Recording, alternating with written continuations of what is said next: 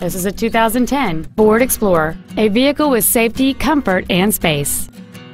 It features a 4.0-liter six-cylinder engine and an automatic transmission. Its top features include a leather-wrapped steering wheel with audio and stereo wheel controls, cruise control, and a trip computer, four well-positioned speakers, a CD player, a low tire pressure indicator, traction control and stability control systems, and this vehicle has fewer than 16,000 miles on the odometer. This vehicle is sure to sell fast. Call and arrange your test drive today.